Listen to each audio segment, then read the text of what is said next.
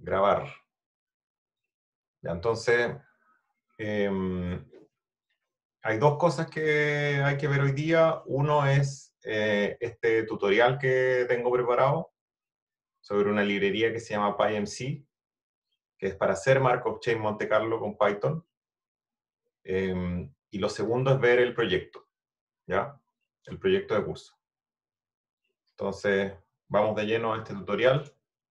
Bueno, justamente la razón por la cual eh, preferí no dejarlo como video, sino que lo viéramos como en vivo, eh, o sea, sincrónicamente, es porque siento que los tutoriales se entienden mejor así, como que me puedan interrumpir. Eh, va a ser bien práctica esta sesión.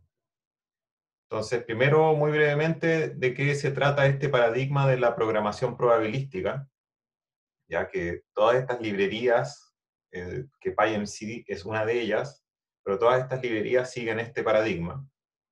Eh, un paradigma más o menos reciente, que es una especie de entrecruzamiento entre las ciencias de la computación y la estadística. Entonces, por un lado tenemos eh, esta figura, me gusta porque resume bien la relación de uno con el otro. Tenemos, por un lado, las ciencias de la computación, donde nosotros programamos, escribimos programas con funciones, clases, etc. Y esos programas reciben un input, unos parámetros, el programa corre, nuestro algoritmo corre y devuelve un output. Entonces hay una dirección desde los parámetros hacia el programa, hacia la salida. Y esto es CS, CS aquí es Ciencias de la Computación, Computer Science. En estadística, en cambio, tenemos usualmente datos que hemos observado, que son estos de acá, el Y, y nos gustaría estimar o inferir un parámetro, que en este caso es este x. Eh, nos gustaría, de hecho, p de x dado y. Queremos eh, estimar lo mejor posible este parámetro x dado que yo observé y. Y para eso usualmente lo modelamos, ya no, esto es lo que no tenemos, pero en lugar de eso lo que sí tenemos es algún conocimiento a priori sobre p de x, probabilidad a priori, y una verosimilitud que relacione lo que observo con lo que yo quiero estimar. Em, entonces, si uno, si uno eh, quisiera verlo como un proceso generativo, yo tengo primero los, los, los parámetros X que generaron mis datos, que luego pasan por esta verosimilitud y que finalmente producen esos datos ¿ya? que yo estoy observando. Y yo en estadística tengo este flujo que es generativo, que ya vamos a ver con ejemplos a qué me refiero, pero también tengo otra flecha para el otro lado, que es el flujo de la inferencia, que es, eh, yo propuse el modelo que genera los datos, ahora quiero encontrar X. Ya esa es la flecha naranja. Entonces, para hacer un símil, la programación probabilística tiene también parámetros, por supuesto, que son estos parámetros que yo quiero estimar. Es como un poco raro, porque el input es en realidad lo que yo quiero. Aquí, en cambio, lo que yo quiero es el output. Por eso es que está en blanco. Entonces, el input, que son los parámetros, las variables aleatorias, es lo que yo quiero. Mi programa eh, toma esos parámetros, construye el modelo y escupe las observaciones. Y haciendo estas observaciones, lo más similar a lo que yo observo es cómo yo voy entrenando estos modelos. Y entrenar, por ejemplo, me refiero a lo que hemos visto de eh, aprender las transiciones de una cadena de Markov que que finalmente simule la distribución de estas cosas que están aquí arriba. Entonces, por un lado genero, por el otro lado infiero. Em, y este paradigma de la programación probabilística eh, partió en un principio como sus propios lenguajes. Habían algunos lenguajes, como por ejemplo Bugs y Stan, que son lenguajes de programación que nacieron como de programación probabilística. Después, obviamente, como eran tan de nicho, eh, no le llegaba mucha gente. Y, dado que Python se ha posicionado hoy en día como el lenguaje de la ciencia por excelencia, aunque eso pronto podría cambiar, estoy pensando en Julia, por ejemplo, em, pero de momento el que reina en la ciencia de datos y en la estadística es Python, y por ende los, estos lenguajes de programación probabilística empezaron a aportarse a reescribirse en Python. Y ahí es como surgen todas estas librerías, por ejemplo, PyStan, PyMC, que es la que vamos a revisar, eh, algunas librerías eh, que, que, están conectadas con otras librerías famosas de Python, como por ejemplo Edward, que tiene como backend la librería TensorFlow de Google, Pyro, que tiene como backend la librería PyTorch, y mm, así sucesivamente. Entonces nosotros vamos a enfocarnos en PyMC3, que es una de las que tiene más historia en el campo de Markov Chain Monte Carlo.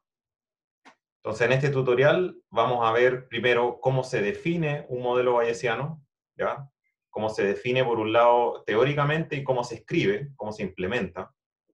Luego, cómo se aplican algoritmos de Markov Chain Monte Carlo para este modelo, es decir, cómo encontrar, eh, cómo, cómo, entrenar esta cadena, las transiciones de esta cadena para, que, para tener el posterior que yo estoy buscando, y después cómo verificar la convergencia de mi cadena y cómo analizar estos posteriores ya que es más o menos lo que, lo que ya hemos estado viendo. Hemos tenido una distribución que nos interesa, ¿ya? Eh, para el caso, para el caso del, del, laboratorio anterior teníamos la distribución directamente, en ese caso PDX, que era la que nos interesaba. Eh, yo en el ejemplo de esa lección les mostré el caso donde yo tengo una distribución un poquito más complicada, en realidad lo que tenía era un posterior, ya que yo lo escribo en términos de verosimilitud y prior, y eso es lo que vamos a hacer ahora también. Eh, luego, algoritmos de MCMC hay muchos, Metropolis Hastings es uno de ellos.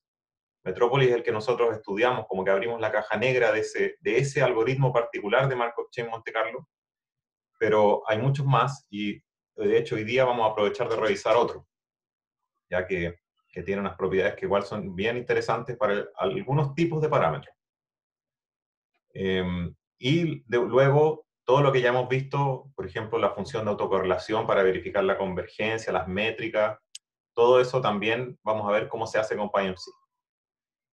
Entonces, yo les sugiero que, que, sigan lo que yo estoy diciendo y que hagan esta instalación después.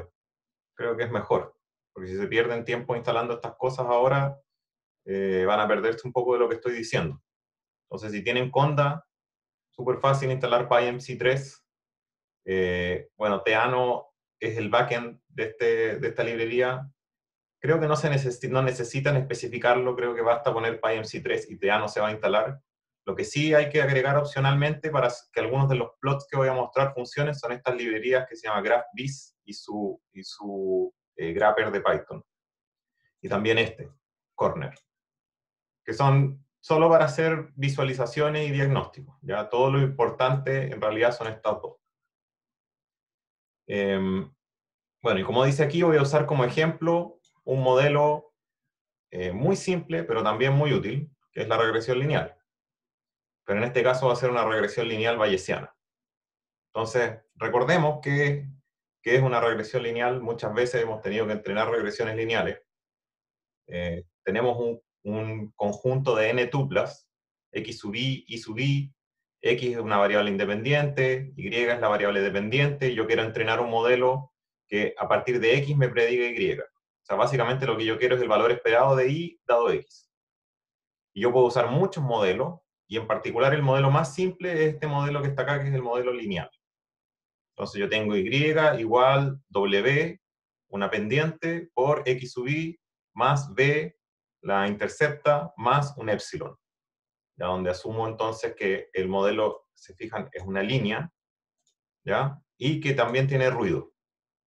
O sea, muy usualmente los datos tienen ruido, entonces para tener en consideración todo lo que la línea no puede capturar, agrego este epsilon. Y hago un supuesto sobre epsilon, que es que el ruido es normal, tiene media cero, desviación estándar sigma. ¿Ya? Y lo que yo quiero entrenar esta cosa es encontrar W y B. Y, si recuerdan de la unidad 1 cómo se hace esto, ya vieron cómo se entrena con máxima verosimilitud. Yo puedo escribir la probabilidad de, de i dado x, y dado w y dado b. Eh, en este caso es normal, está centrada en b más wx con sigma cuadrado. Por supuesto, esto depende de cada problema. Pero el punto que si yo sé esto, yo puedo escribir la verosimilitud como esta pitatoria eh, espantosa, después aplicarle logaritmo, aplicarle derivada, igualar a cero y encontrar W y B. Y, si esta fuera una regresión lineal clásica, aquí yo le puse específicamente el apellido clásico, entonces ahí terminaría la historia. Ya yo me encuentro dos numeritos que es uno para W y uno para B. Bueno, tres en realidad, uno para sigma también. Pero en el caso bayesiano, yo no me conformo con eso. No me conformo con W y B como números, sino que yo quiero encontrar eh, más información de W y B. En particular, yo quiero, yo quiero encontrar la distribución de, esos, de esas variables. Voy a asumir que estas variables son inciertas, que tienen una distribución y yo la voy a encontrar completa. Eso es, eso es encontrar el posterior. Voy a crear unos datos para que juguemos un poco. Ups, aquí me equivoqué. Esto debería ser B. Ahí sí. Ya. 10 puntos con eh, intercepta 1, con pendiente 2,5 y con desviación estándar del ruido igual a 1. Estos son los datos entonces que yo generé y con los cuales yo voy a aprender un modelo que los prediga. Em, y aquí estoy importando PyMC, tengo en este caso la versión 3.8 y estoy importando también Teano Tensor, creo que lo ocupo más abajo, puede que no, ya ni me acuerdo. Em, pero para algunas operaciones, algunas operaciones vectoriales, como las de la tarea, esto sí que lo van a ocupar. Ahí voy a dar algunas indicaciones cuando pasemos eso. Em, ¿Cómo escribo yo entonces esta regresión lineal bayesiana? Yo les hice aquí un diagramita. Eh, tenemos entonces los ingredientes, tenemos los X, Y y los Y, El color oscuro corresponde a, un, algo que es observado. Observado en el sentido de que lo tengo. Los datos que tengo en la mano, esos son las variables que están observadas. Todo lo que está en blanco, en cambio, son cosas latentes, cosas ocultas, ¿ya? Yo no conozco el B, no conozco el W, no conozco ninguno de estos hiperparámetros que están aquí arriba, ¿ya? Eso entonces lo que está en blanco es lo que yo no conozco. Y yo quiero descubrir estos parámetros en blanco en base a los parámetros en gris. Eh, bueno, lo otro que hay en este diagrama, este es un diagrama típico de modelos bayesianos que se llama notación de placas. Esto que está aquí es una placa para indicar que tenemos n, x, y e y, y. este se ve el iésimo. En realidad hay que imaginarse que esto está como repetido n veces y que todos comparten b, w y epsilon. ¿Ya? ¿Qué es el UI? ¿Ah? ¿Qué es lo que está entre medio del X y del Y? Esto, MUI. Este MUI es eh, básicamente XY por W más B. Por eso es que lo otro que quería decir es que la diferencia entre el círculo y el cuadrado. El círculo es una variable que es aleatoria. El cuadrado, en cambio, es una variable que es determinista. Entonces, todos los parámetros de B, W y epsilon son deterministas. Estos son números. B, W y E son distribuciones. Y también es una distribución, porque está definido en función de la verosimilitud. En cambio, X yo estoy asumiendo que es un número, y que es confiable y que no tiene error. Y mu, en este caso, mu, si voy a mi definición, es esto de aquí se refiere al mu, al mu de, es, como un, renombre para la media de la verosimilitud simplemente. B más W por X, Y. En este caso es el modelo de línea, el modelo que yo quiero. Pero si ese modelo está formado por distribuciones, ¿cómo, o sea, por parámetros que, no son deterministas, o sea, si variable aleatoria, ¿cómo van a dar un, un mu determinista? Em, esa es una buena pregunta, pero es que lo que tienes que pensar es que ya, B y W tienen una distribución, ¿cierto? Entonces yo puedo muestrear de B y de W, puedo sacar un B y un W, bueno, multiplicar el W por X, sumarle B y obtener un mu. Ah, ya, perfecto. Lo que se refiere a esto es que esto es una transformación nomás. Esto, esto no tiene yo no le estoy especificando una distribución. En cambio, a esto sí. Vamos a ver que a B, a W y a Y yo les especifico distribuciones. En cambio, esto es una transformación, ¿no? Una transformación de distribuciones. que en sí no tiene, no tiene una distribución especificada, es simplemente W por X más B. Ya, perfecto, perfecto. Vale. Eh, bueno, entonces este es el modelo y yo lo que quiero es esta ecuación de acá, que se ve espantosa, que es el posterior. Yo quiero W la probabilidad de, eh, o la densidad de W, B y sigma, dado que observé los datos. Eso es lo que yo quiero. Y eso yo lo puedo reescribir por teorema de Bayes, que también lo vieron en detalle en la unidad 1, como la verosimilitud, que es la probabilidad, la densidad, perdón, de los datos dado W, B y sigma, por el prior, que en este caso estoy asumiendo que este prior se factoriza, o sea que W y B son independientes, y que W y sigma son independientes y que B y sigma también son independientes. Y todo eso dividido por la evidencia que es la integral de lo que está arriba, pero la, la integral con respecto a los parámetros. O sea, es una triple integral en este caso. Y D es el conjunto de datos. Em, y este es el problema que recuerden que yo puedo resolver con Markov Chain Monte Carlo. O sea, yo puedo tener, tengo, el tengo un valor de W, B y sigma, Después obtengo un W estrella, un B estrella y un sigma estrella. Divido los posterior, se va a eliminar este término denominador que es complicado, y después hago mi regla, por ejemplo, de, de Metrópolis para decidir si acepto o rechazo. ¿Ya? Entonces, Metrópolis, una de las maneras en que yo puedo obtener muestras de este posterior sin ni siquiera poder calcularlo. Ahora, ¿cómo hacemos eso en PyMC? Eso es lo que vamos a ver ahora. Entonces, primero tenemos que crear el modelo generativo, que es esto. El modelo generativo termina en los datos que estoy observando, que son Y. Entonces, ¿cómo se escribe un modelo? Eh, PyMC tiene esta noción de los contextos. O sea, los contextos en Python es algo usual. Típicamente se ocupan, por ejemplo, yo quiero abrir un archivo y abro un cierto contexto para abrir ese archivo. Y ese, el contexto se abre con este keyword que se llama with. Entonces, yo abro un contexto model, pm.model, y le voy a poner un nombre. En este caso le puse este nombre eh, regresión bayesiana, pero puede ser cualquier cosa. Em, es importante ponerle nombre porque después este contexto yo lo voy a llamar de nuevo varias veces, ¿ya? a lo largo de este cuadernillo. Entonces yo le pongo un nombre, después de, voy a usar, eh, a ver, veamos esto primero, las líneas 5, 6 y 7. Las líneas 5, 6 y 7 son los priors. Entonces, son estos. BW. Prior para B y W normal. Aquí es donde, donde la persona que está diseñando el problema tiene que, eh, o sea, la persona que está estudiando este problema tiene que tomar una decisión. Y ahí es una decisión que tampoco es como que esté escrita en piedra. Yo voy a escribir este modelo generativo y tal vez no funciona, el muestreo funciona mal, eso es indicativo de que el modelo podría no estar bien y yo lo voy perfeccionando. Entonces aquí es donde los priors es donde yo pongo información que yo sepa sobre mis variables. Yo, por ejemplo, en este caso sé que B y W son números reales, ya que podrían estar en cualquier parte en realidad. No tengo mucha información de ellos.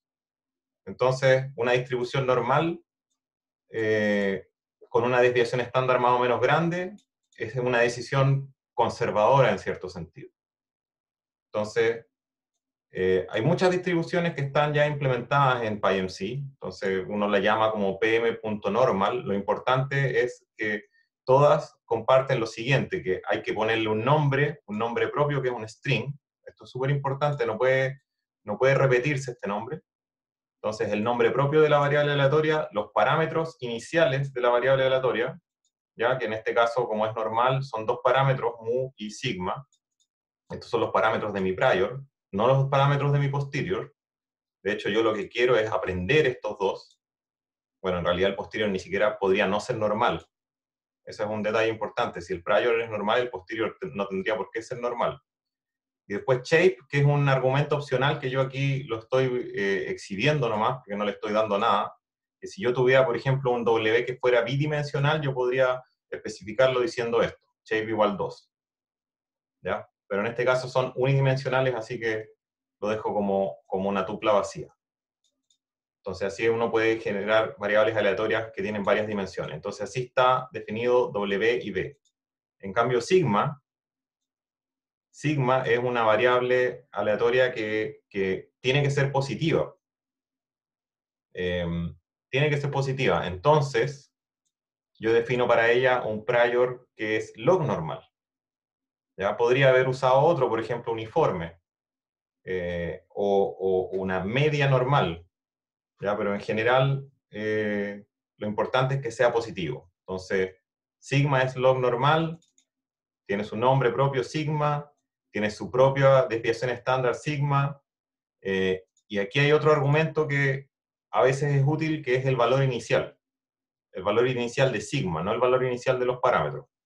En este caso yo sé, puedo calcular la desviación estándar de mis datos y asumir que, esa es, eh, que ese es un buen punto de partida para esta variable aleatoria. Pero es opcional en realidad. Aquí está el mu, que es lo que preguntó Felipe hace un rato. Entonces, mu es, un, es una variable determinista, ¿ya? Que, que, es simplemente una combinación de otras variables, que también tiene nombre propio, y que en este caso es b más x por w. ¿Ya? Ahora sí, aquí hay un detalle que yo había pasado por alto, que era esto, en la línea 3. Yo creé esta variable que se llama x shared o x compartido, con este constructor pmdata que también tiene nombre. Entonces yo le pasé aquí la variable observada x. ¿Ya? ¿Por qué estoy haciendo esto? Es porque a mí este modelo, recuerden que a mí me gustaría después usarlo para predecir en datos distintos. Entonces yo no quiero que quede hardcodeado los datos. Entonces yo después voy a poder, si lo, si lo defino así, en lugar de, por ejemplo, haber como omitido esto, si yo omito esto y simplemente pongo acá x, ahí dejo hardcodeado el x. No va a ser fácil cambiarlo cambio, si lo dejo así, después vamos a ver cómo lo podemos cambiar para predecir en datos distintos. Y lo último es la verosimilitud, que como dijimos, la verosimilitud también es normal, también tiene nombre, tiene media mu, que la acabo de definir, tiene desviación estándar sigma, que está aquí, ¿ya? Y eh, la diferencia entre una verosimilitud y un prior en PyMC es simplemente este último argumento que está acá que se llama observe. Entonces, esto es lo que diferencia una variable latente o, una variable oculta con una variable observada o visible.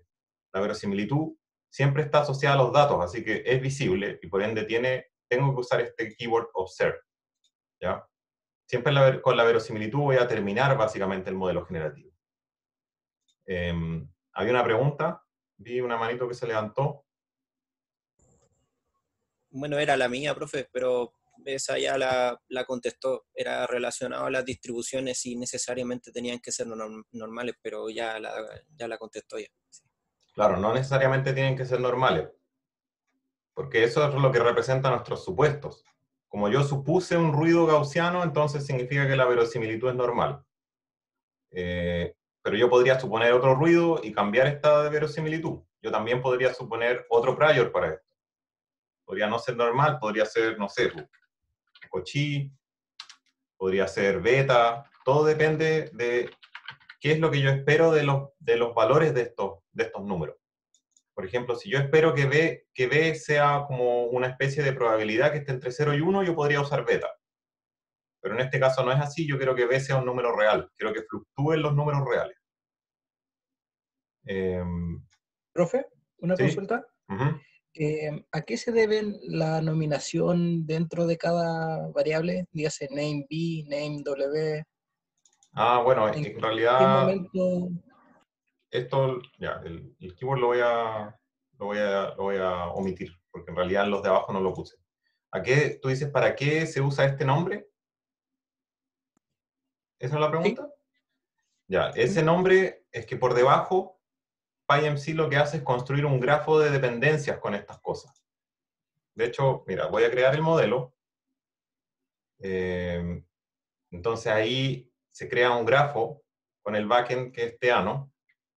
Eh, y después el grafo, aquí podemos ver el grafo. Entonces los nombres propios, te fijas, son los nombres que tienen estos nodos en el grafo. Entonces aquí tenemos el i observado, el mu, el sigma, el w y el b. Y, es importante porque el, nombre lo ocupa PyMC, eh, por eso es que no se puede repetir, pues no puedes tener dos nodos con el mismo nombre. También tú después puedes, puedes hay, varias, hay varias funciones que tú tienes, por ejemplo, si quieres pedir muestras, puedes especificar de cuáles de estos nodos pides muestras. Y eso lo haces con el nombre propio. Porque el nombre de variable podría estar perdido, podría haber, incluso haber estado reemplazado. Por eso es que es importante los nombres propios. Pero el único detalle es que simplemente no hay que repetirlo. Eso, eso es todo. Eh, de hecho, yo aquí incluso seguí una convención de ponerle el mismo nombre de la variable al nombre propio, pero eso tampoco, tampoco es necesario. Em, ya, bueno, ahí está el modelo. Aquí me adelanté un poco. ¿Mm?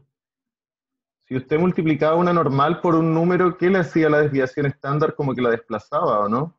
O sea, la, la, multiplicaba o la, sumaba si multiplicas una normal por un escalar, entonces lo que hace es que se le agranda la desviación estándar. Se le agranda hasta ahora, hasta ahora quedaría como que este parámetro en realidad es una, una normal con la desviación estándar variada por el x y de ahí como desplazado en otra normal, una cosa así.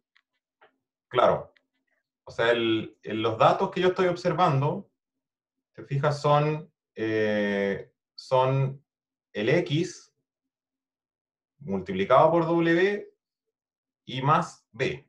Es una línea, básicamente. Es una línea. Ahora... ¿Sí, profe? Perdón, es que había, había una continuación de la pregunta. Oh, disculpe.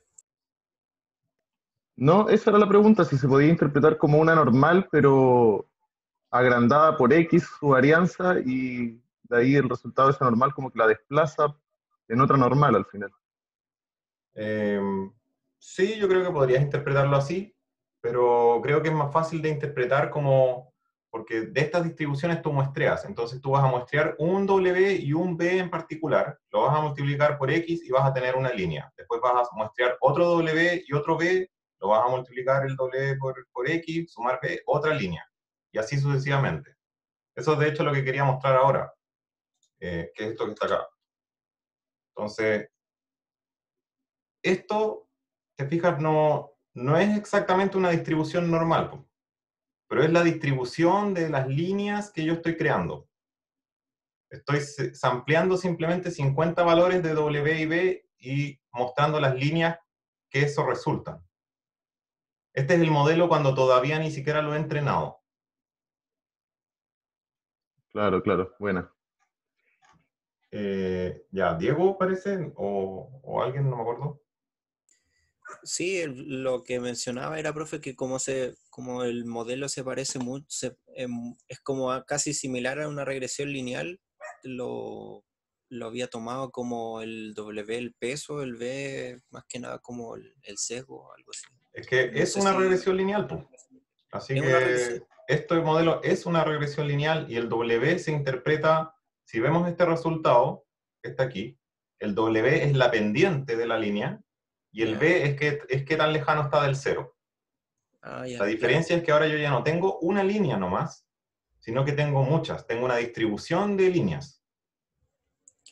Esa es la diferencia con una regresión, una regresión lineal y una regresión lineal bayesiana, porque W y B ahora ya no son números que voy actualizando, sino que son distribuciones que yo voy actualizando. En estos casos los resultados, los resultados son múltiples, no es que estén ajustándose, ¿no es cierto? Exacto, tengo toda esta distribución. O sea, yo igual voy a ir ajustando esa distribución, cada vez va a ir convergiendo hasta un valor estacionario. De momento, de momento estoy sampleando como directamente de lo que está aquí. Esto no es ampliar del posterior, es ampliar del prior. Entonces, esto es ampliar cuando no sé nada todavía. No he usado mis datos. Okay. Esto, esto que quería mostrar es solamente para dos cosas. Primero, para ver que esto efectivamente es un modelo generativo. Yo estoy generando, estoy creando líneas. Y lo segundo es que, bueno, estoy usando a propósito esta función que se llama Sample Prior Predictive. Ya aquí, pidiéndole que cree 50 ejemplos muestreados de W y B y después yo dibujo simplemente las líneas. Eh, eh, Entonces, lo primero es mostrar esto que estoy generando líneas, y lo segundo es que esto también sirve como una especie de debugueo de mi modelo, porque si aquí no salieran líneas, entonces significa que algo hice mal. Yo esperaría que mi regresión lineal, mi modelo de regresión lineal sean rectas. Entonces, esto sirve para debuguear también.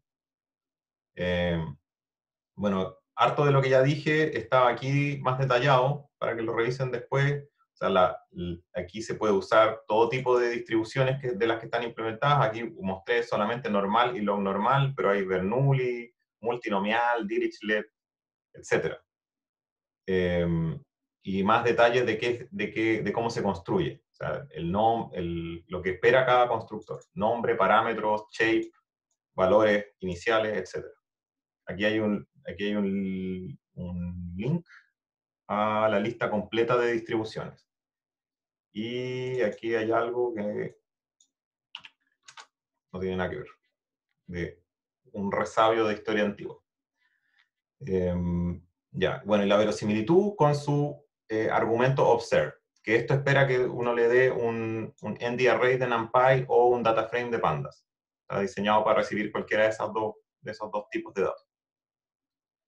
Em, bueno, y aquí está el ejemplo, o sea, mostrando algunos de los atributos, eh, las variables aleatorias, cómo son internamente. Se fijan, el sigma internamente no ocupa sigma, sino que el logaritmo de sigma.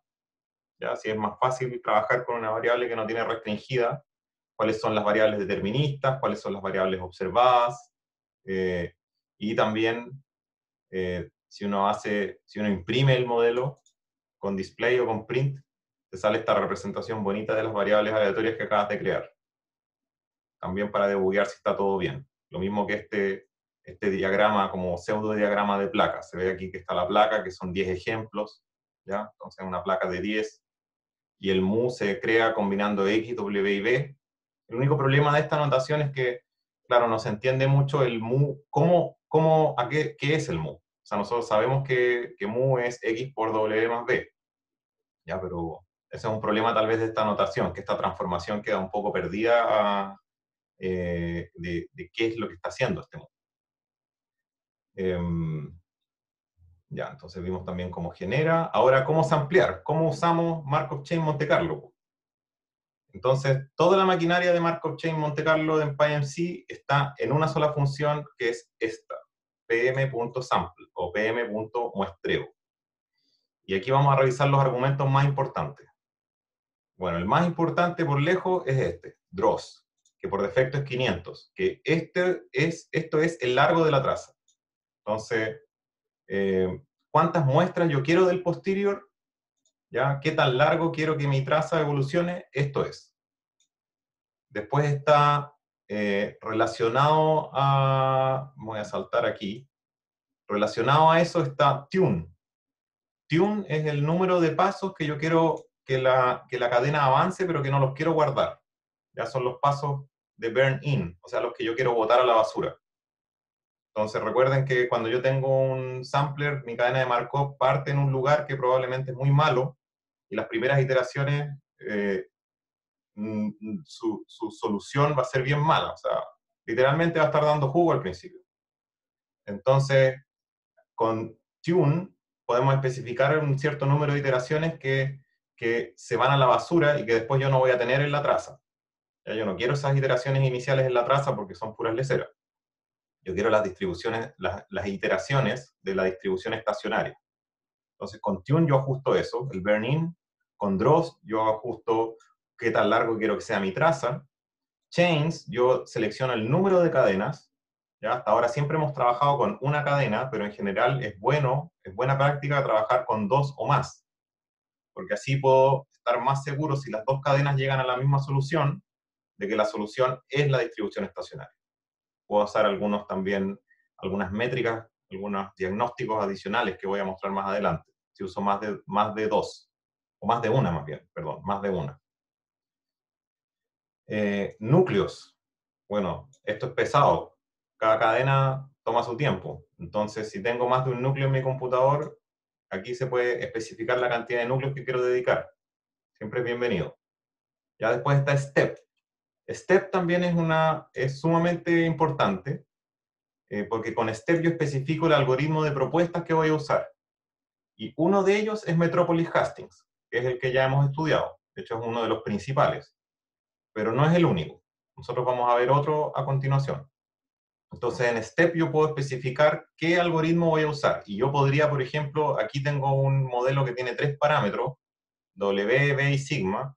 Y yo podría, por ejemplo, decir que quiero que W y B lo encuentre con Metropolis Hastings y que sigma lo encuentre con otro. Yo podría decirle, asignarle ciertas variables a un, eh, a un eh, algoritmo de propuestas en particular. Eso se hace entregando una lista de algoritmos de propuestas. Em, ya, entonces aquí hay más detalles, el largo de la traza, burn-in, ya lo dije, eh, la recomendación de usar dos o más cadenas, el argumento step, entonces como dije puede ser PM Metropolis, ya que es Metropolis Hastings, y bueno, en realidad hay muchos más, aquí hay una lista de los otros, porque hay un Metropolis, hay un Metropolis para variable discreta, un Metropolis para variable binaria, un Metropolis eh, para combinación de variable discreta y binaria, y el Metrópolis así a secas es como el Metrópolis por defecto. ¿ya? Em, y después está también toda una otra familia de, muestreadores, de, algoritmos de propuestas que se llaman los algoritmos de tipo hamiltoniano. Ya que voy a explicar ahora brevemente de qué se tratan. Pero la diferencia fundamental con Metrópolis es que eh, ocupan información de la derivada. O sea, que son más rápidos, pero que son solo para variables continuas. Entonces nosotros vamos a probar estos dos ahora. Eh, ya, pero eso va a venir un poquito más en detalle a continuación. Por mientras, miremos también estos, estos tres argumentos que son relevantes porque tienen relación con el punto de partida. Ya la cadena, recuerden, parte en algún lugar eh, por ejemplo, un lugar aleatorio o un vector de puros ceros o algo por el estilo. Y ese lugar usualmente puede ser súper malo y mientras más malo sea, más se va a demorar el algoritmo. Eh, y los algoritmos de Markov Chain Monte Carlo no se caracterizan por ser rápidos, entonces mientras más cerca estemos, mientras mejor sea la solución inicial, eh, menos tiempo tenemos que esperar. Y tenemos varias formas de especificar la solución, por ejemplo, con start podemos dar un diccionario con valores iniciales, si yo tengo alguna pista de cuáles son. Y también tiene toda una maquinaria sample para hacer una inicialización automática. ¿Ya? Entonces, init especifica cómo voy a hacer la, inicialización. Si yo lo dejo por defecto, el, por defecto es esta opción automático, si yo, se, va a escoger una heurística que, eh, depende de si yo ocupo Metropolis o ocupo NUTS. Em, pero yo podría también forzar, ups, perdón, yo también podría forzar la inicialización, por ejemplo, algún algoritmo en particular, por ejemplo, usar el máximo posteriori, ¿ya?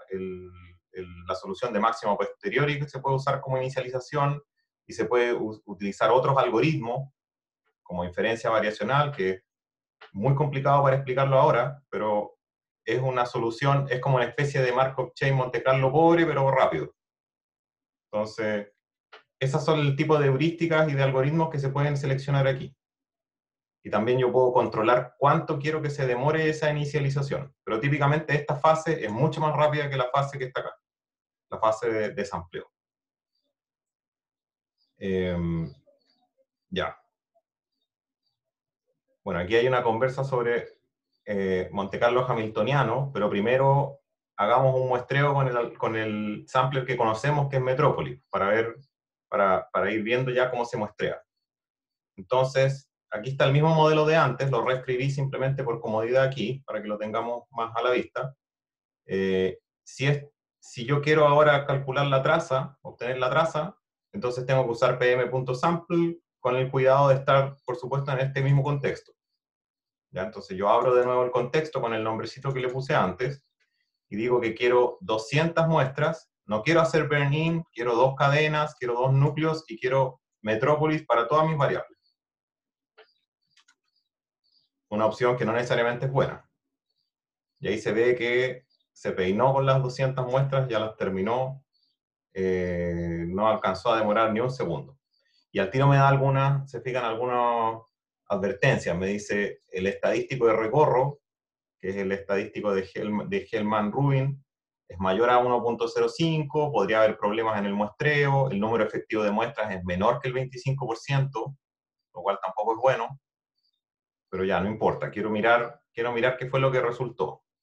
Entonces, así es como se muestrea, súper simple, nosotros vamos a después cambiar esto, cambiar esto, pero antes de eso creo que es mejor que veamos cuál fue el resultado de este muestreo, y para eso tenemos que pasar a los diagnósticos.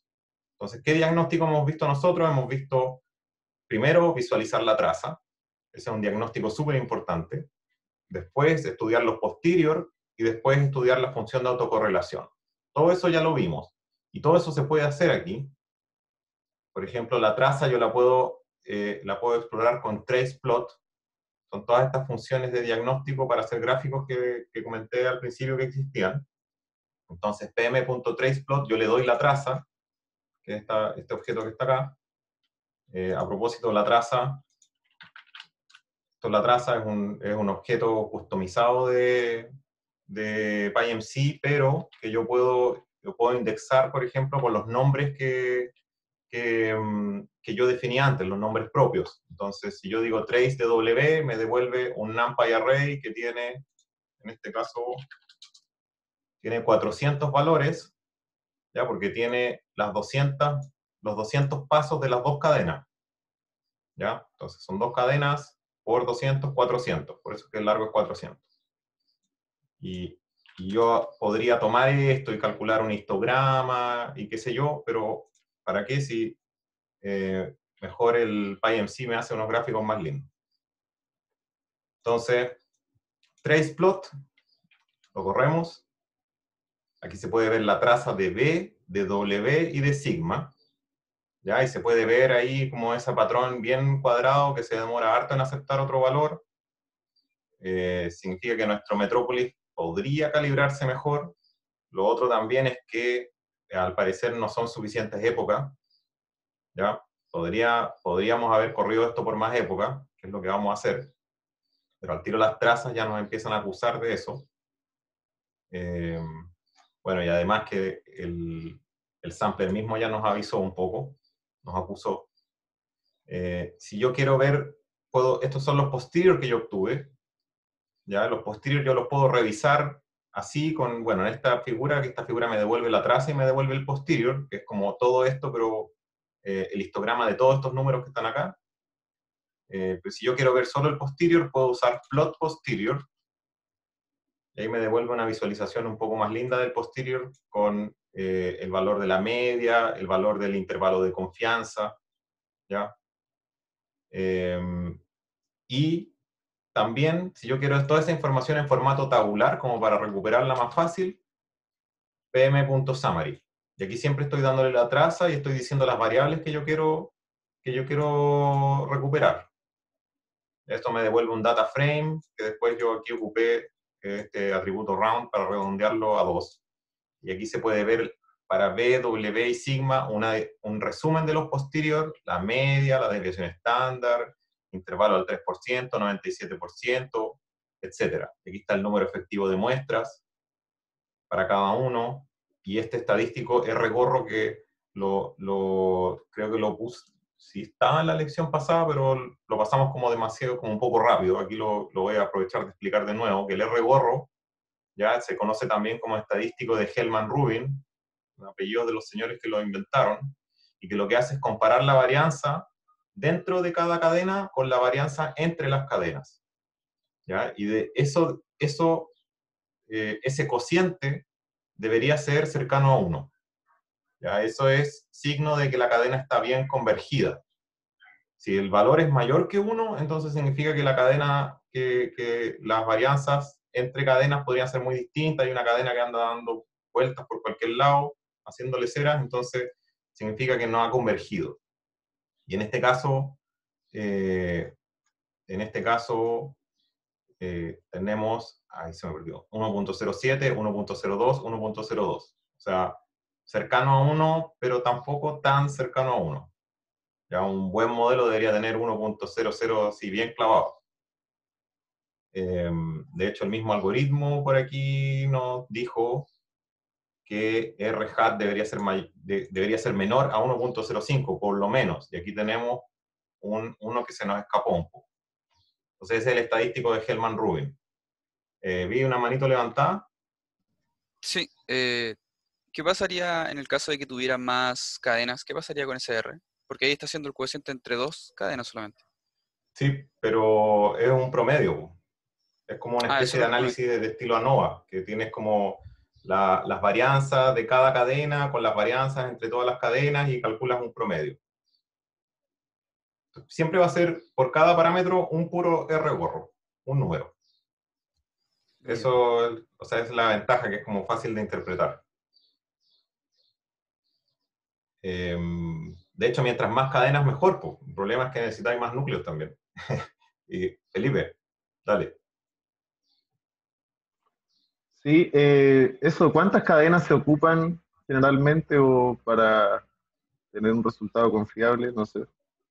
Es que tú con, un, con una cadena puedes tener un resultado confiable, pero el problema es que necesitáis trabajar un poco más. En cambio, con dos cadenas o más, ya puedes calcular el, ya puedes tener un R gorro y basar tus resultados en eso. Si dos cadenas, dos cadenas se ven perfectamente estacionarias con un R gorro de 1.00, entonces ya estáis listo. Y si ves que eso no pasa, siempre puedes aumentar el número de cadenas a lo que aguante tu compu. En general, es, igual que el número de muestras. O sea, el número, el largo de la traza, recordemos cómo funciona Markov Chain Monte Carlo. El largo de la traza, mientras más, mejor. Pero obviamente ese más podría llegar a infinito y ahí se nos muere nuestro compu. Entonces, las cadenas, mientras más, mejor. El largo de la traza, mientras más, mejor pero dentro de lo factible. Esa es básicamente la, respuesta. Buena, buena, perfecto. Gracias. Para modelos así chiquititos, sencillos, eh, dos cadenas yo creo que es más que suficiente. Pero para modelos más complicados, donde, donde podrían tener más problemas eh, las trazas convergiendo, mejor ponerle algunas más. Em, bueno, hasta ahora entonces hemos visto las trazas, hemos visto el posterior, hemos visto el R gorro, que no es muy bueno, no estamos satisfechos. Vemos la función de autocorrelación ahora.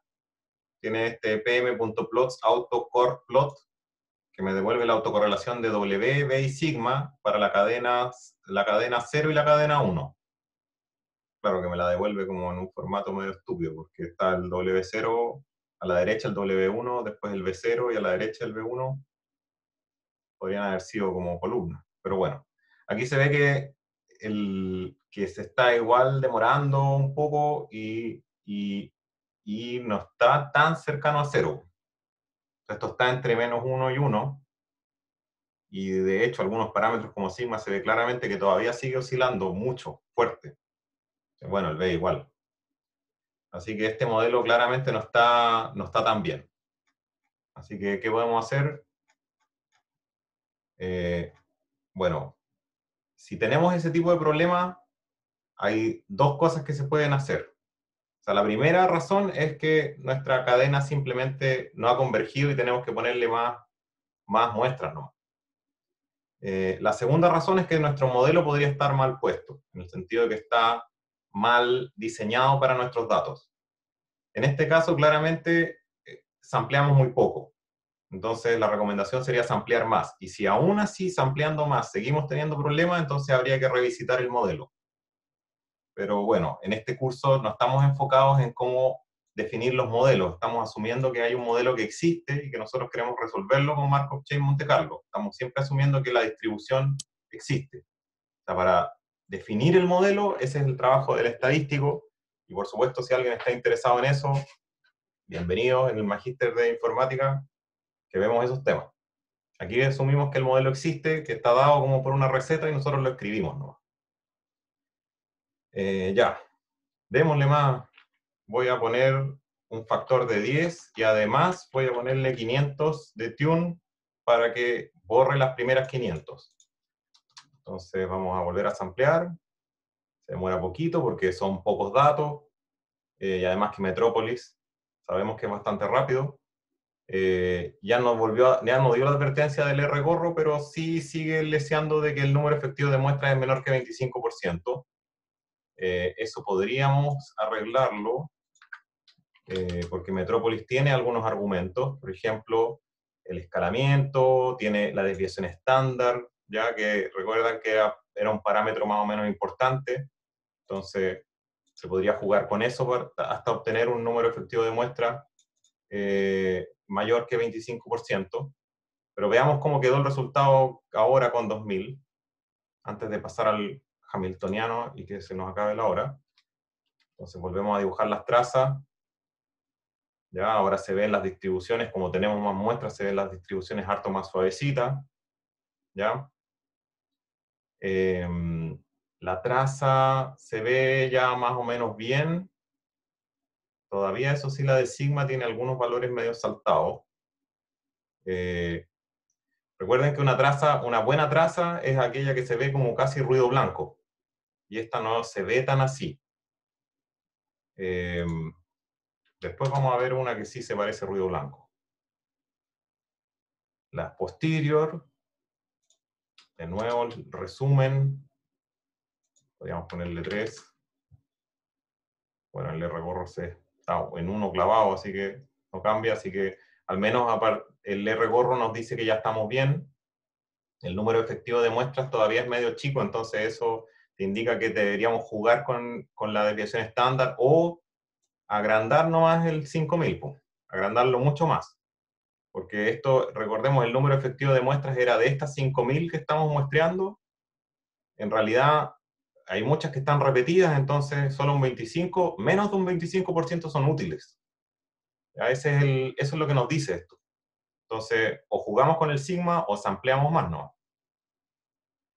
Em, y la función de autocorrelación. Ahí se ve un poco distinta la cosa. Se fijan, el sigma, el B, bueno, el W todavía sigue un poco, un poco pesado en la autocorrelación, pero casi todas las autocorrelaciones se achicaron bastante en torno a cero. Sigue, sigue sin ser un patrón de ruido blanco, porque yo esperaría, lo mejor es que no haya correlación. Aquí todavía hay correlación, todavía está subiendo y bajando, de hecho, pero al menos está mucho más en torno a cero. Em, y ahora veamos el hamiltoniano.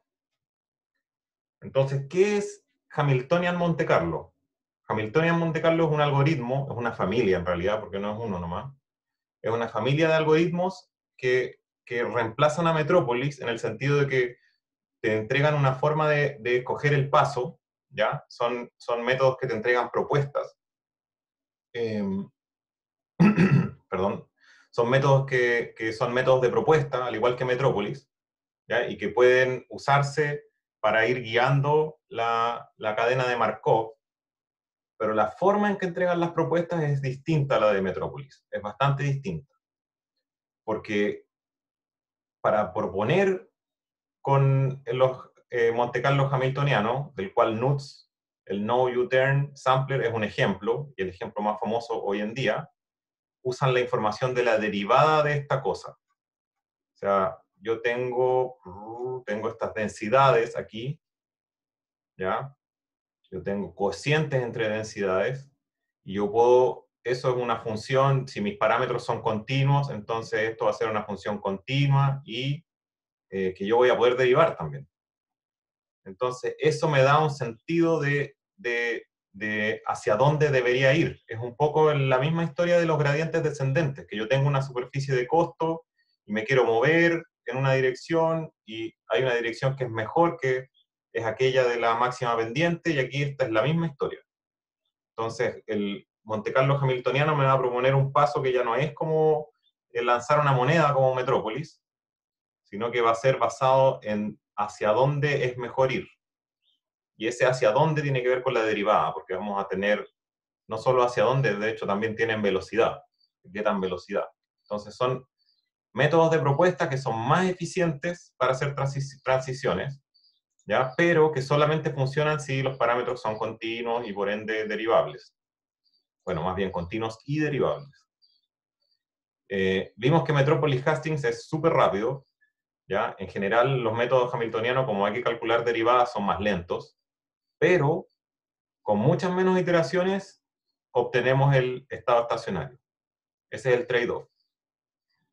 Y quería que viéramos esta página porque tiene unas animaciones bien buenas para mostrar la diferencia.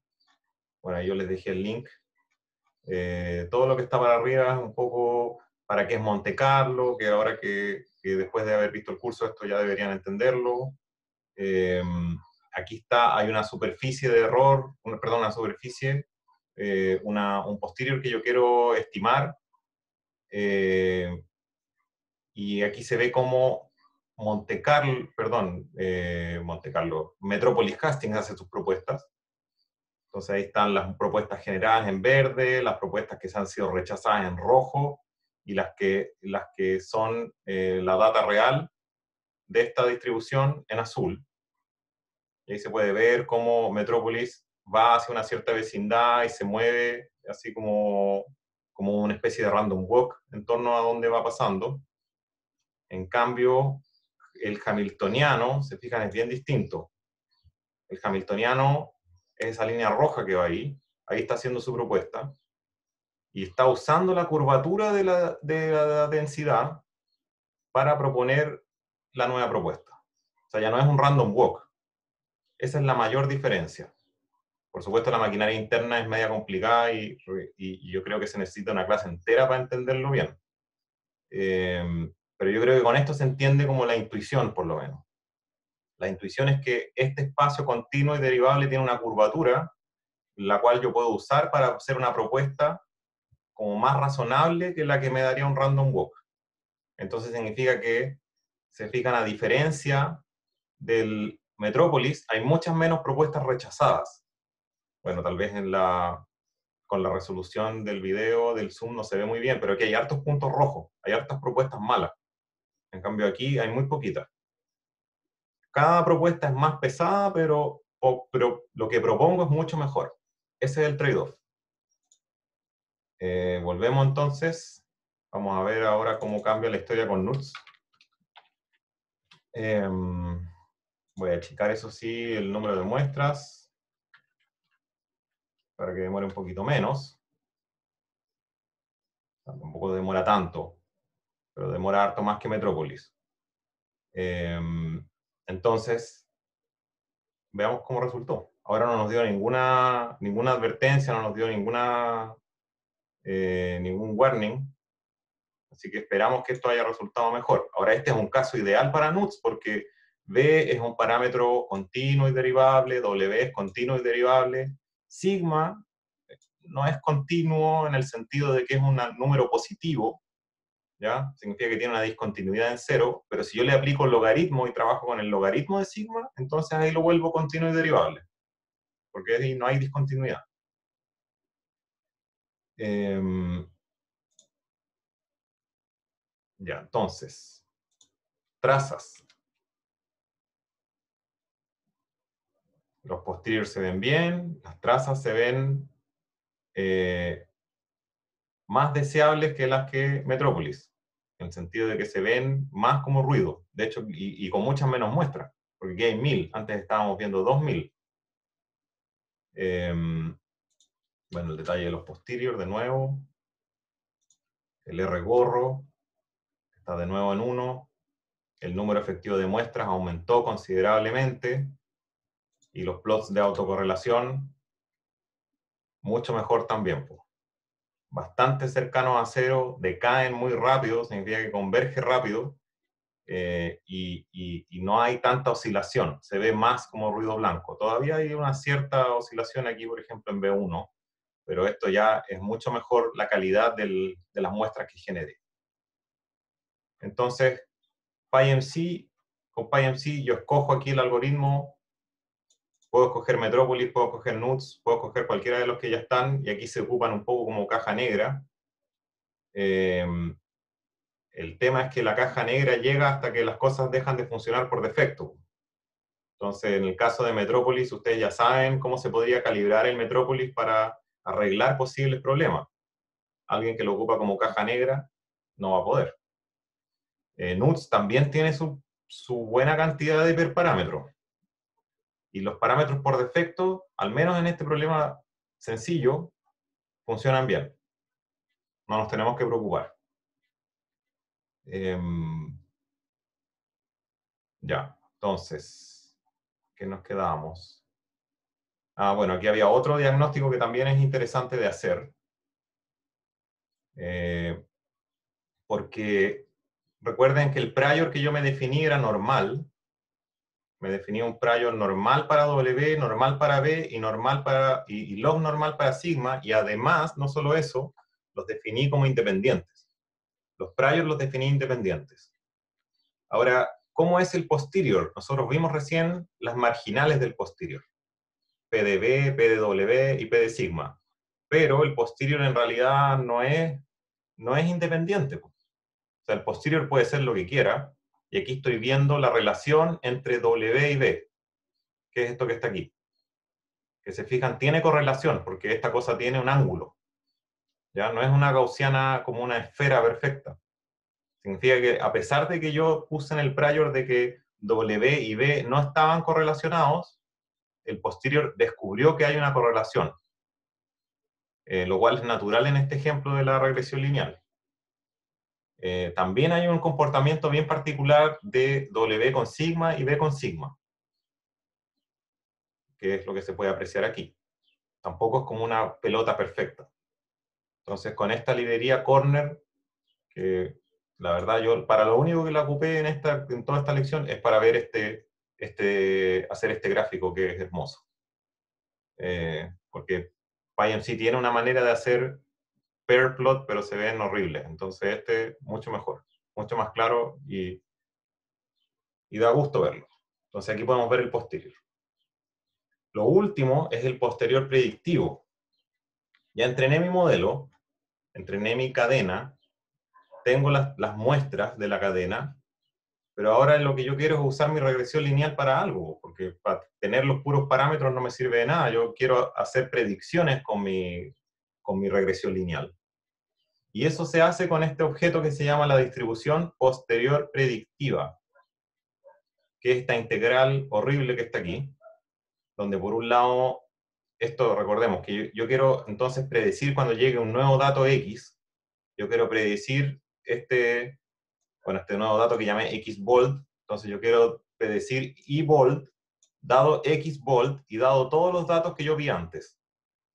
Y eso yo lo puedo escribir como la integral de i dado x, como los parámetros, por el posterior de los parámetros dados los datos. ¿Ya? Esta integral es lo que se conoce como distribución posterior predictiva, donde teta es w, b y sigma. Y d es el conjunto de datos. Ahora, esta integral se ve como fea, pero en realidad la parte más difícil es esta de aquí, es este posterior, que nosotros ya lo estimamos. O sea, esto lo podemos calcular como un valor esperado, ¿ya? Porque de teta ya tenemos muestras. Entonces, esta, esta, esta integral es extremadamente fácil de estimar si yo conozco este término, que es justo lo que me dio Markov Chain Monte Carlo. Entonces, no hay que sufrir, pare de sufrir. La parte más difícil era estimar ese posterior que ya lo tenemos. Así que respiramos tranquilamente y de PM sacamos esta función sample posterior predictive que hace exactamente esto de aquí. Entonces, aquí está el detalle que yo les había dicho antes. Yo tengo entonces, asumamos que tengo nuevos datos. Yo quiero calcular mi regresión lineal en, ahora en otro espacio, ya en otro X en este arreglo que está entre menos 5 y 5. Entonces yo abro mi contexto, le cambio la variable x, recuerden que este fue el detalle que les dije al principio para que el x no quede hardcodeado, entonces le cambio la variable x por otro valor, que es xtest, y después aplico mi posterior predictivo con la traza, ¿ya? que es, representa p de teta dado d, la cantidad de muestras que yo quiero, que en este caso es 100, y las variables que yo quiero recuperar, que en este caso quiero recuperar solamente mu y y. ¡Pum! Una bala. Esto no demora nada porque aquí ya no hay cadena de Markov involucrada, esto es muestreo nomás. Em, y después puedo dibujar. Estas son todas las líneas de mi nuevo modelo generativo. Se fijan, ya no van por cualquier lado del espacio como si vamos para arriba. Estas eran las líneas a priori cuando no había visto los datos, y estas son las líneas a posteriori, una vez que yo lo vi. Eh, y claro, no tengo una sola línea como sería una regresión lineal normal, sino que tengo muchas. Entonces, en realidad lo que yo tengo es esto. Un posterior, ¿ya? Donde aquí estoy dibujando la media con una línea celeste y eh, el percentil entre 5 y 95 como, como esta, esta zona media sombreada. Entonces, esto representa la distribución de líneas que encuentro que mejor ajustan estos puntos negros, ¿ya? Y eso es eh, lo que yo quería al fin y al cabo. Entonces, ¿qué rescatamos de esto? Si yo entrenara una regresión lineal, voy a tener una línea que pasa por aquí, al medio. Pero ahora que yo tengo una regresión lineal bayesiana, yo tengo más que eso. Yo tengo la línea, la media, pero además tengo esta, este, esta área sombreada de la distribución, que básicamente me dice, por aquí, yo estoy súper, eh, tengo harta certeza de mi resultado, en cambio por acá ya no tanto. O sea, si yo quiero predecir aquí, en realidad la chance de que me salga un numerito por acá o por acá eh, em, es más alta que aquí. O sea, todo esto, el ancho de la distribución posteriori, este, este zona celeste, tiene que ver con la incerteza, con la incertidumbre. Y esa es como la lección que después vamos a volver a ver en, el, en, la tarea, cuando la abramos ahora, que es que muchas veces yo tengo un modelo, yo tengo un número, un resultado, pero no tengo ninguna noción de qué tan confiable es ese resultado, de qué tan creíble es ese resultado. Y después yo quiero aplicar ese modelo para tomar decisiones y no tengo confianza de su resultado. ¿Cómo puedo, asegurarme que lo que me está diciendo eh, es correcto? O, al menos poco incierto. Entonces, esto me da un mecanismo para definir eso. ¿ya? Esa es la gracia de combinar eh, la técnica bayesiana, los modelos bayesianos, con lo que es Machine Learning, con lo que es programación probabilística. Así espero que les haya parecido interesante como nota al cierre del, curso. Em, pasemos a la tarea, pasemos al proyecto de curso. Ya. Entonces, el proyecto, bueno, al principio, primero algunas instrucciones generales. Eh, quiero que trabajen en grupos de tres. Bueno, también si quieren trabajar de dos o de a uno, también, pero ojalá no lo hagan porque, ¿para qué? Pare de sufrir. Eh, les pido entonces que formen su grupo, creen un repositorio privado de GitHub y me inviten a mí, inviten a sus compañeros, pongan en el README los nombres de los compañeros para yo saber quiénes son al momento de evaluar. Eh, yo voy a evaluar tanto el resultado como su análisis y, por supuesto, también la calidad, el orden de sus códigos. ¿Ya?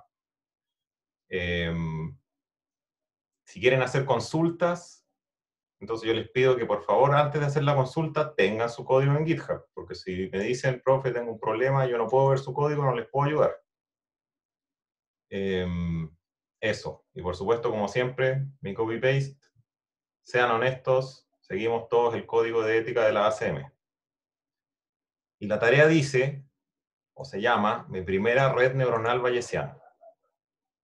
Y yo sé que tal vez no todos aquí han visto lo que es una red neuronal, tal vez sí, pero puede que no. Pero el punto es que no es necesario. Eh, no, es necesario no es necesario saber lo que es una red neuronal bayesiana. Lo pueden entender simplemente como un regresor más potente nomás, que, el regresor lineal que vimos ahora. Lo importante es que se va a escribir como un modelo bayesiano. Entonces, que hay una descripción, las redes neuronales, me faltó el adjetivo artificial, son modelos del estado del arte que hacen regresión y clasificación, generalmente requieren muchos datos para poder entrenarlos. Estos son modelos de Machine Learning que requieren del orden de millones de datos. Y eso supone un problema porque hay muchos, muchas veces donde los datos son escasos, donde los datos son pocos. Además, después yo quiero entrenar, eh, o sea, yo entreno este modelo para, para, no solo para clasificar, sino también para tomar una decisión. podría, por ejemplo, yo entrenar un modelo que trabaje en imágenes médicas y yo tengo que tomar la decisión si es que, si es que a la persona que estoy revisando la radiografía tiene, hay que hacerle un tratamiento o no.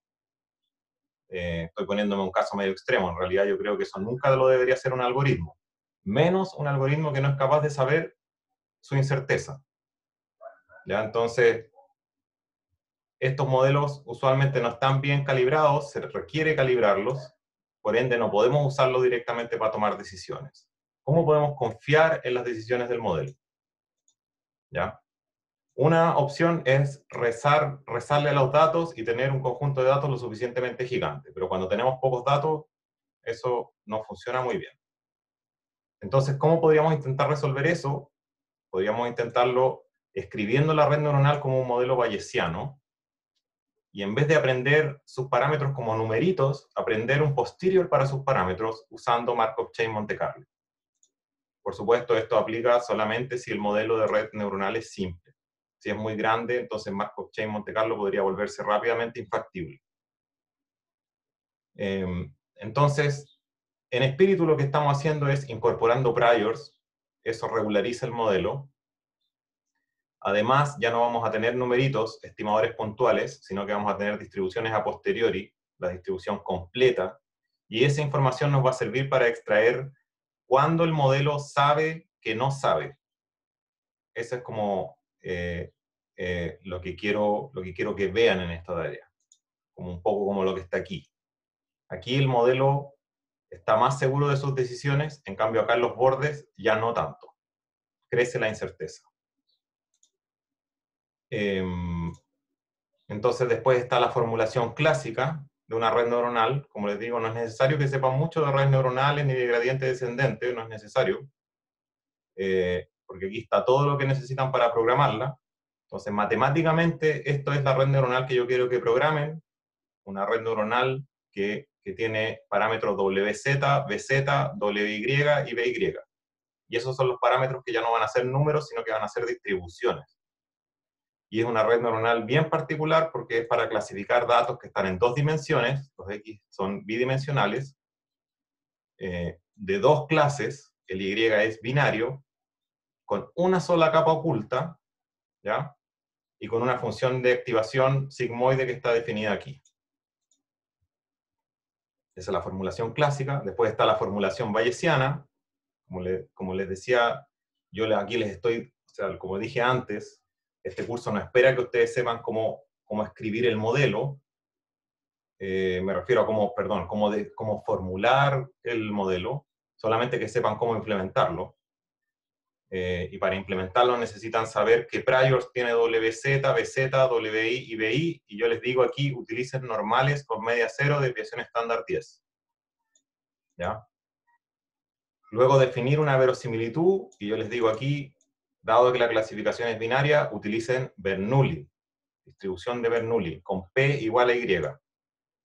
¿Ya? O sea, la salida, esta salida de aquí, que es un número entre 0 y 1, equivale al P de la distribución de Bernoulli.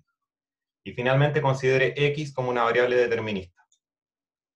Algunas indicaciones que van a ser útiles, usen el atributo shape donde corresponda. Fíjense aquí que WZ y WI son matrices, entonces aquí hay una matriz de m por 2, aquí hay un vector de m. Entonces usen shape para darle la dimensión correcta a cada cosa. Em, usen el atributo observe para la verosimilitud, no hay que olvidarse de eso. Usen pm.data para la variable independiente x para que después puedan hacer su posterior predictivo de forma fácil. Usen teano.tensor.sigmoid para la sigmoide, no es necesario que la escriban ustedes. De hecho, así, eh, si usan funciones de teano, esto va a andar un poco más rápido. Y para el producto matricial, usen A.dot.B. ¿Ya? Entonces aquí se fijan, hay unos productos matriciales, WZ, WZ por X y WI por Z. Entonces, usen A.dot.B. Así es como se operan tensores en teano. Y eso es básicamente todo lo que tienen que saber. Después las instrucciones más en específico, yo les digo aquí, hay un dataset este clásico dataset de Two Moons, que es el que estoy mostrando aquí, el de las dos lunas, lo voy a mostrar con un poco más de muestra para que se entienda. Entonces aquí hay una luna, la luna de puntos y la luna de cruces. Eh, entonces usen este dataset sintético y, y se piden dos experimentos, uno con n samples igual 100 y otro n samples igual 10. Y aquí está la variable n samples. ¿Ya? Entonces, primero con 100, después con 10. Después, formule la red neuronal bayesiana. Y esto no debería ser formule, sino implemente, porque ya está formulado. Implemente el modelo de red neuronal bayesiana dejando m, fíjense que m era el tamaño de la capa oculta, m, eh, como un parámetro, una entrada, ¿ya? para que ustedes la puedan variar. Eh, y para cada valor de n samples, o sea, para 100 y para 10, quiero que prueben M1, M3 y M10. Entonces, son todos modelos pequeños de redes neuronales.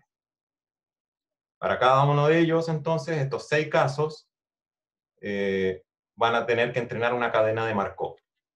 Entonces yo les pido seleccione, calibre un algoritmo de MCMC, ustedes escogen cuál, ustedes justifican sus decisiones, respaldan sus decisiones también, viendo el comportamiento de las trazas, el estadístico de regorro, la función de autocorrelación, como vimos ahora en el tutorial, ¿ya?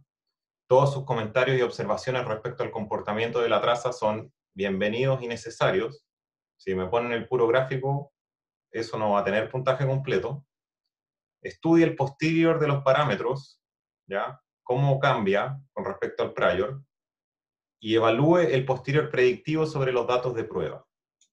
¿Ya? Aquí yo les dejé una data de prueba que es esta cosa que se llama X-test, aquí abajo. ¿Ya? Muestre gráficamente la media y la varianza del posterior predictivo en el espacio de los datos. Em, y por supuesto, hacer todas las observaciones necesarias y todas las comparaciones que se puedan entre los seis casos. O sea, hablar de los posterior y del posterior predictivo, cómo cambian con M y cómo cambian con N samples. Y esto último, que yo sé que es un poco raro, se lo voy a mostrar. Entonces aquí tenía, vamos a volver a poner esto. Entonces tengo este caso, el caso 10, que es el caso con menos datos, caso que es tal vez un poco más incierto. Y cuando yo les digo que dibujen el posterior predictivo, lo pueden hacer como estoy mostrando acá. Entonces, aquí estoy dibujando de nuevo los datos. Y los datos de test están en este espacio eh, menos 3, 3. ¿Ya? Como un cuadrado, menos 3, 3. Entonces, yo evalué el modelo en el conjunto de test. Eso me da esta traza. ¿ya? En este caso son, recuerden que la salida del modelo es binaria, entonces me dice o 1 o 0. Y si yo quiero el valor medio, entonces le tomo la media con numpy.min en el eje, en este caso son, eh, son 1000, 1000 por 10.000, ya porque generé 1000 muestras, y son 10.000 posiciones. Entonces, eh, promedio en la dimensión de las muestras y le, doy el shape de este cuadrado, ¿ya? y así lo puedo dibujar como un, eh, ¿cómo se llama? Eh, como un mapa de color. Entonces, esto es lo que yo quiero que me muestren. Esto es lo que, a esto es a lo que deberían llegar. Aquí les estoy dando como un, un buen hint. Entonces, si no están llegando a algo como esto, puede que haya algo malo. Y este código, por supuesto, lo pueden, lo pueden usar. Eh, y esto es la media nomás. Y esto en realidad es la distribución completa.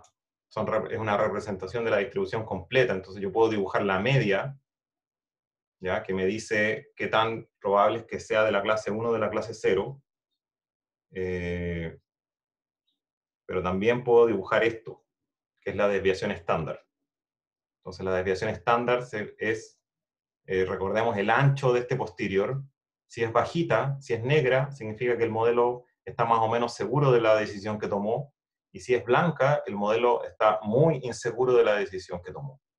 Entonces, aquí al medio, en esta parte, en esta franja blanca, el modelo está medio complicado. Porque es natural, porque está justo en la frontera de un clúster con el otro. Y además de eso son pocos datos. Entonces, no está para nada seguro de su decisión. Él cree que la cosa va por aquí, pero eh, la incerteza es alta.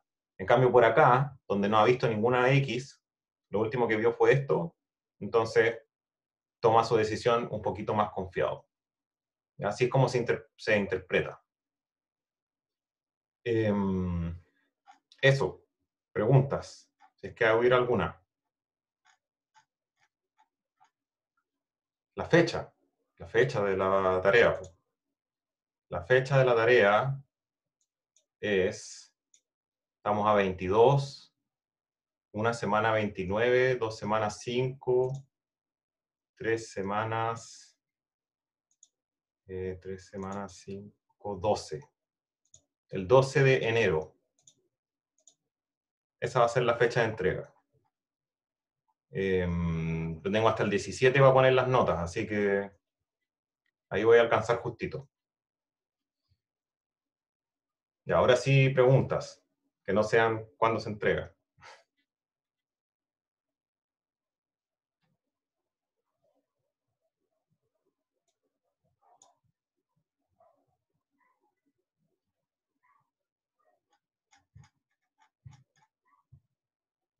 Voy a detener la grabación.